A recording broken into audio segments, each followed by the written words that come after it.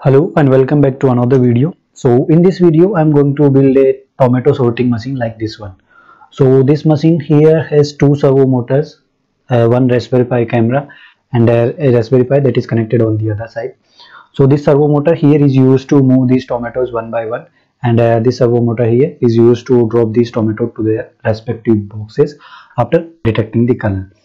Uh, Raspberry Pi camera is used to take the video streaming and uh, here for uh, training this model we have used Edge Impulse studio.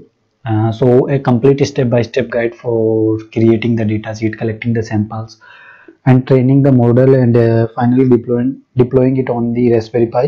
Is given at the link in the video description.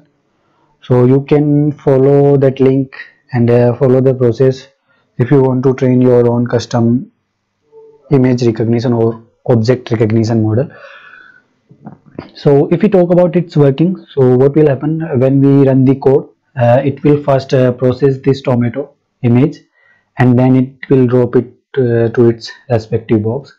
After that it will move these tomatoes one by one and follow the same procedure. So uh, it will first detect the tomato and then uh, move this, this servo motor according to the color detected. So how it is dropping these uh, tomato to their boxes is uh, whenever the color is red it will move the servo motor to 90 degree. So it will come here. And uh, when the color is green it will move the servo motor to 180 degree. So it will uh, just drop here. So now uh, let's connect the power supply and run the code and see how it works